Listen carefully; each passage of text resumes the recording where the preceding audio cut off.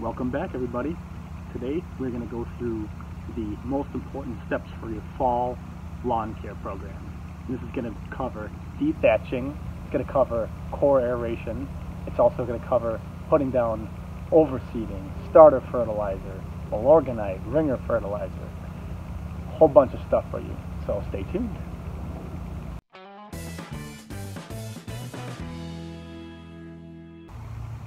Thank you for joining me for once again another lawn care video. I am Mike and this is Jealous Lawn Care. And first things first, we got a lot to do on our plate today. And it's going to be, we'll say a two week course, or video I should say. First things first, we mow our lawn. That's the first step for your fall preparations for spring. Very important steps. Don't miss any of these in your fall program. So, like I said, first step, we mow our lawn. I've already done that make sure you notch one to two notches settings lower than normal on your mower height. And then we're going to go to the dethatching. So the reason I like to do it manually personally is because of the fact that this actually gives me a great opportunity once a year to just really get in touch and also get a workout with my lawn. So let's get started. So first question, how do you know if you need to do dethatch or not?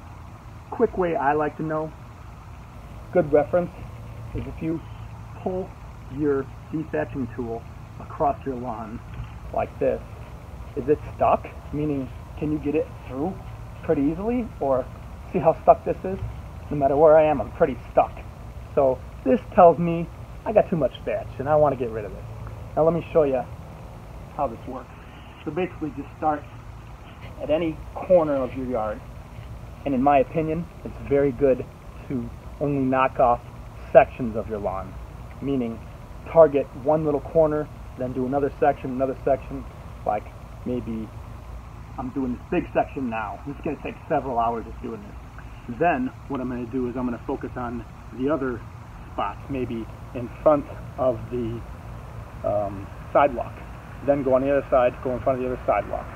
Then, you know, chop it up and do it in separate sections. Otherwise, you're going to be way, way too tired and you're going to have horrible blisters. So I recommend gloves for this, alright?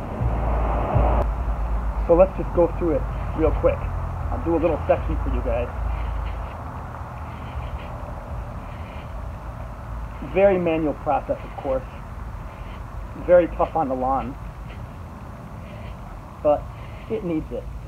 And this, you can tell, is leaving all the good grass still in place. But look at all this thatch that's coming up.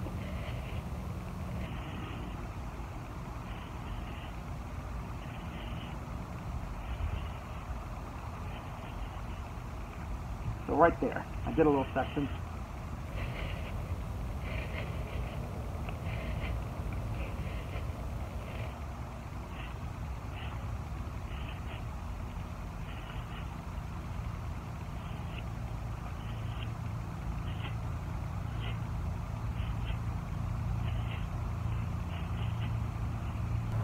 So right here you can see I've already taken out quite a bit of thatch just from this already. And my lawn, I always do core aeration every year, every fall. So this is my prep work for my aeration coming next week. So very important step. I like to do this manually just so I get a little work out of the year. It makes me appreciate my lawn a little bit more. Okay, so you can tell the difference between here. So this little section here, I already beat that. Now look at how smooth this goes through. See how smooth that is? Barely gets caught at all. That's ideally what you want. Versus over here, see, haven't done this section yet. Look at how hard it is to pull.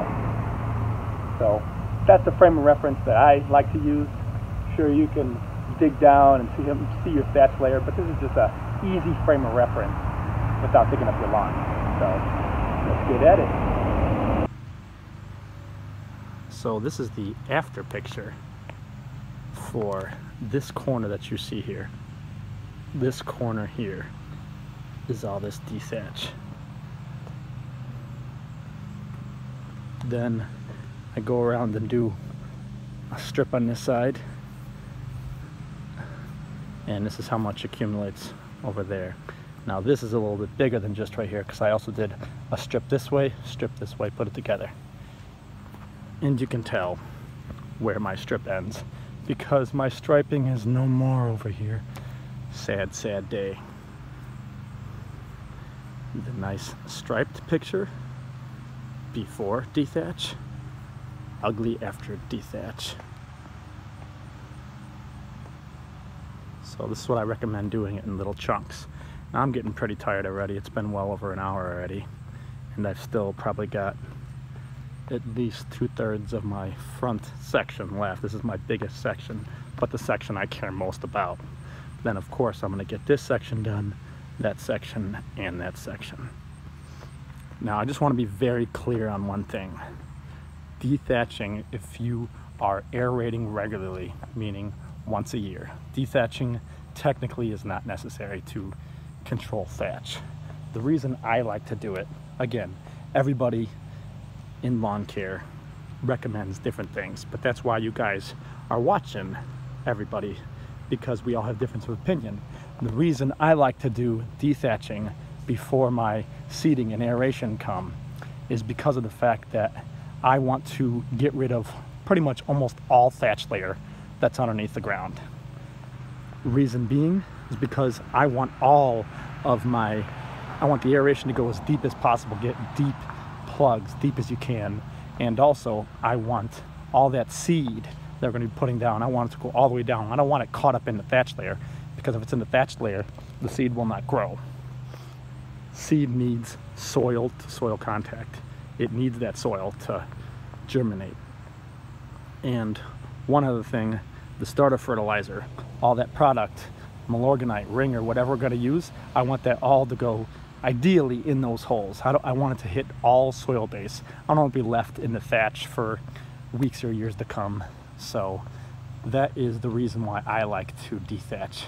And I like to dethatch manually, even though you can tell that I'm a little out of breath here. So I just took a quick minute to give you guys a quick update here. And the across the street from me has the lawn care company. And I'm very surprised that they saw me out here, that they didn't come and offer their dethatching, power dethatching as a service for me. But they could tell I like to do my own work apparently. So that is my quick update for dethatching. Then lastly, before I forget, you do want to water after this is done. So just do, you know, one quick watering. Doesn't have to be too deep or anything, just one quick watering just to make sure that your lawn comes back real quickly because you could tell right here how rough it looks. It's not pretty anymore. It's not as thick as it used to be, but it's gonna be so much browner. We just got rid of all this brown. I mean, imagine all this brown thatch that you can see, especially if you're cutting low, you'd be able to see that to some extent. So once the grass revives from this, meaning after you water it and it starts growing again, man, this is gonna look great going to come in thicker and even greater for the seeding. Spring will be beautiful. On to the next step. All right, here's my after dethatching update of the front lawn. Don't be worried that it's browner than it used to be and also browner than the neighbors. That is because I put a whole bunch of stress on it with that dethatching but tomorrow my aeration and seeding comes then I'll be watering religiously this will be the best lawn once again. So don't be worried if your lawn turns brown after you're dethatching and also after cutting it lower because that's standard for browning your grass the dethatching and cutting it lower than you used to be.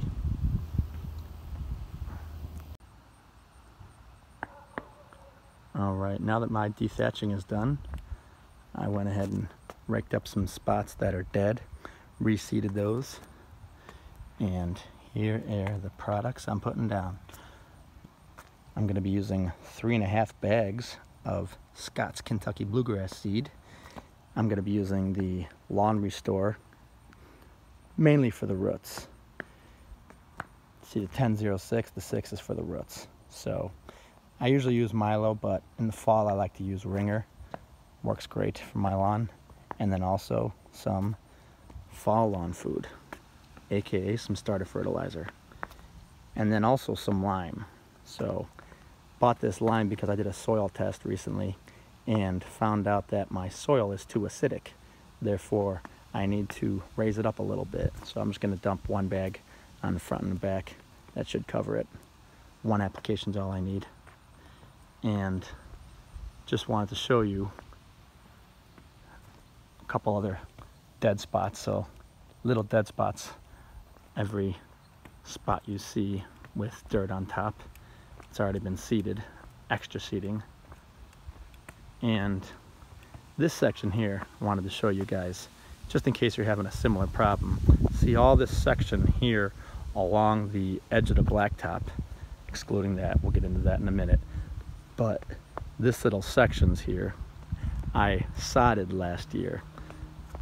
The sod worked good in some places that is near the blacktop, but in this section seems to be in the sun all day long, day and night. It never gets shaded by trees. And you know I don't water regularly. If you watch my videos, you know that I'm not a regular water. I only water as need be. And since sod, you know, doesn't have as deep of a root system as if you're growing it from grass seed, this made the grass basically die out after it was only like a little over a year. So again, this is also the worst summer we've had in many years in Chicago. So what I plan on doing here and experimenting with is instead of sod, laying down another patch of sod, which a lot of people also say sod is kind of like cheating, but I like to use it personally in the front yard just because of the fact that it's a quick and easy. Nobody wants to see an eyesore in the front yard. Backyard, different story, but the front yard, I mainly do it for the neighbors. So what I'm gonna do, instead of doing sod, and with the unestablished root system not being used to these conditions being sun all day and hot next to the blacktop, what I'm going to do is plant grass seed instead.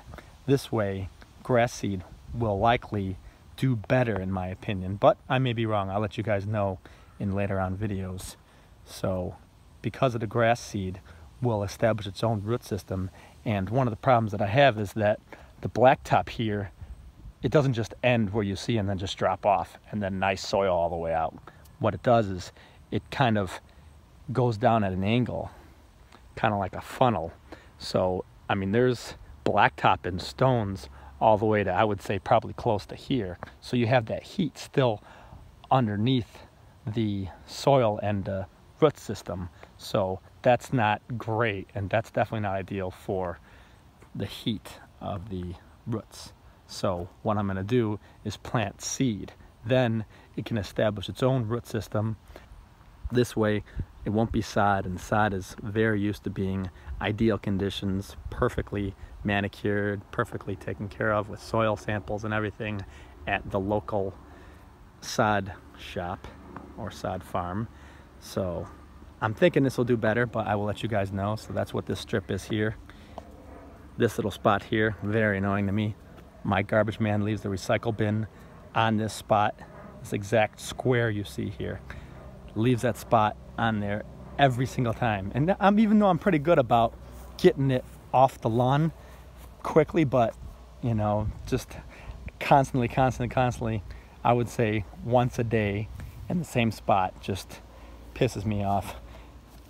Try and get on as much as possible, but you can only do so much, right? So that ended up killing that.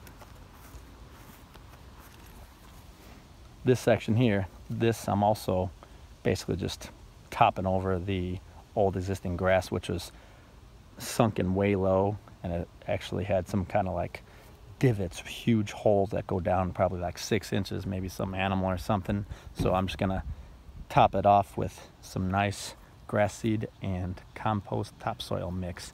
This way it's even with the rest of the ground. And I'm not too surprised. I'm assuming a lot of it eroded because of the fact that it's up against the drain here and that's a lot of heat that comes out of those metal drains so just want to let you know that again fall is the perfect time for doing these type of projects where nobody's lawn is perfect so this way it'll be perfect for next year because of doing the reseeding all right first thing we're to put down, and doesn't really matter what order these things are put down in, is the lime.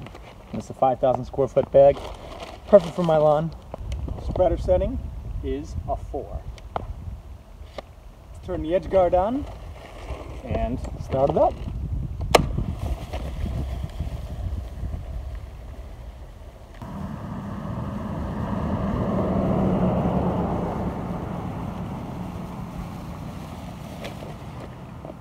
Go.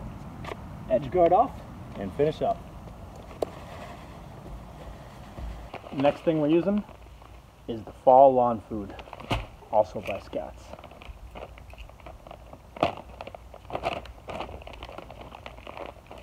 Another 5,000 square foot bag, perfect for my lawn. And the spreader setting is three and a quarter. Ooh, nice and white. The nice white clean look is the exact opposite of what I'm used to. You know what I'm talking about. Milo is black. Gotta love the Milorganite.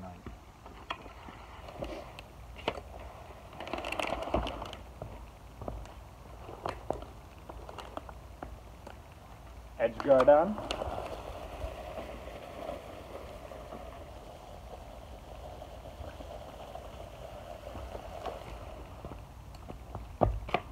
And finish up.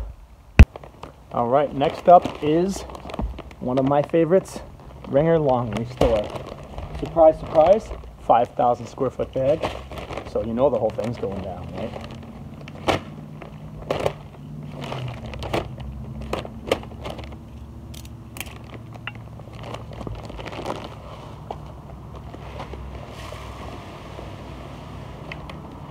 Oh, but these are much bigger granules.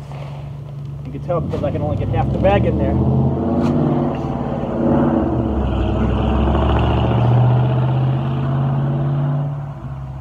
And that's why cars need exhaust. So you can tell these are much bigger granules because of the fact that I can't even fit the whole bag in there. I can only fit about half in my hopper versus the last products that I used. I was able to fit the full 5,000 square foot in there. So spreader setting at seven and a half and edge guard on. Hope you start seeing a pattern now.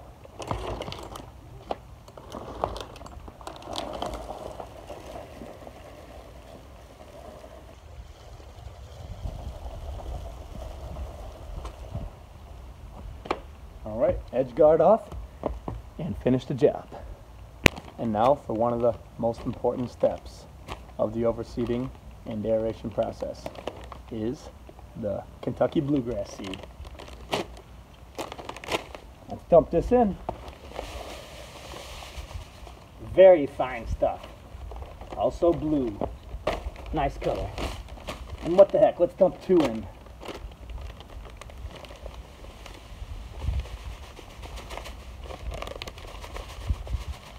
And with seed, you know we always go heavy-handed, right? Can't hurt to make it thicker, right? Too much grass seed is never a bad thing.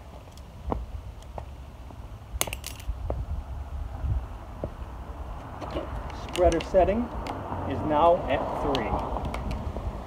Edge guard on.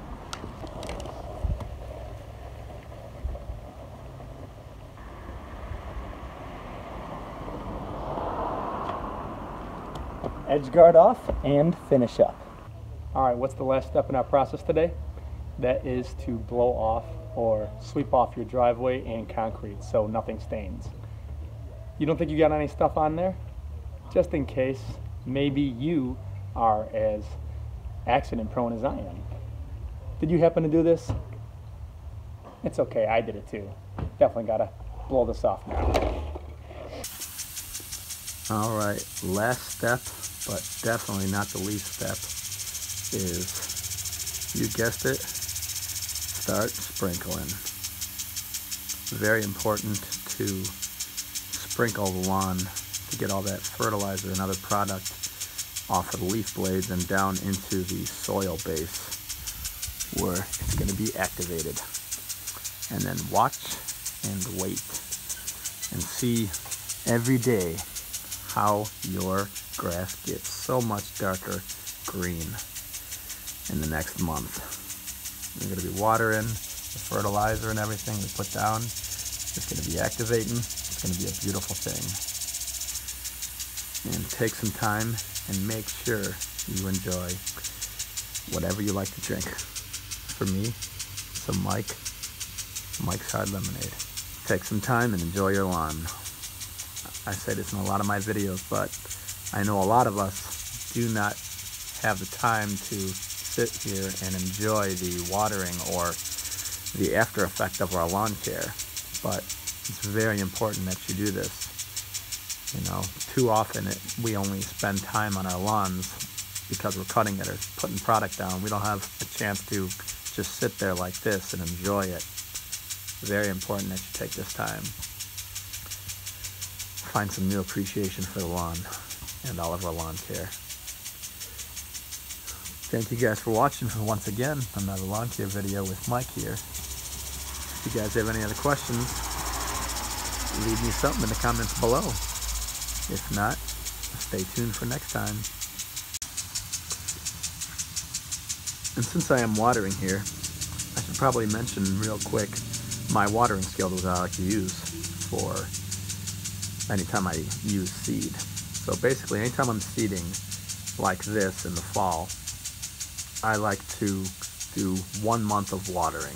Basically, what I like to do is the first week, I'll water three times a day for roughly 15 minutes. And then in week two, I'll cut it down to twice a day, same increments of 15, maybe 20 minutes. Then week three, I'll do it once a day, and I'll do it a little deeper. I'll do it once a day, about 30 minutes. This way, the roots will slowly dry out over the next day before the next watering. And then that's what you want because you want the roots to not be shallow. You want to actually grow deeper and deeper into the ground and to be able to stand alone versus our stress and drought over summer and weather.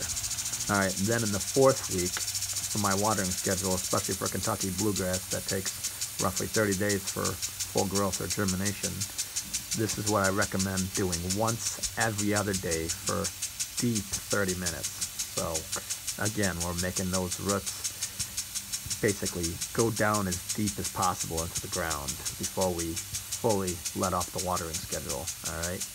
Then after that month, you should be able to let it go on its own, and the roots should be established on their own by then.